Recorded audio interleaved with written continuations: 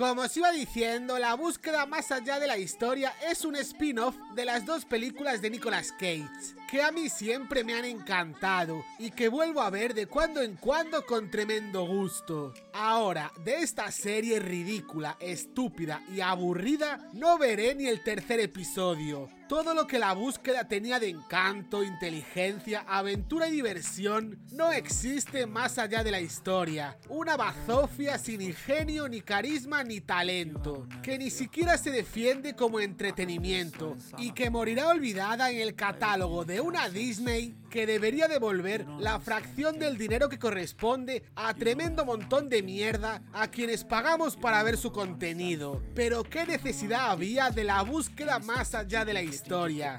De lo que hay necesidad es de la búsqueda 3.